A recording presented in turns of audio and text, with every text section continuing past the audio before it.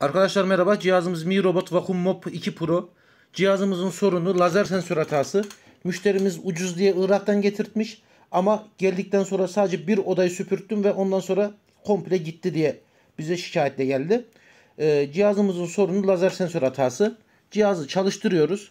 Süpürmeye devam ediliyor. Elinizi şöyle yapıp arkadaşlar. Şöyle baktığınız zaman burada bir kırmızı ışık yanması lazım. Elinizi arkasına tutup deliklerin arasına baktığınız zaman kırmızı bir lazer ışığı çıkması lazım. O çıkmıyor. Makinemizin sorunu lazer hatası. Bakın birazdan zaten hata verecek.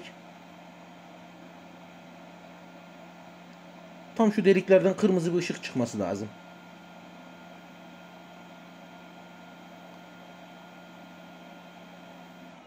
Lütfen başlatmadan önce lazer uzaklık sensörünün engellenmemiş olduğundan emin olun. Evet zaten makinede hatayı söyledi. Şimdi lazer sensörünü değiştireceğiz. Müşterimize fiyat bilgisini verdik. Kendisi kabul etti.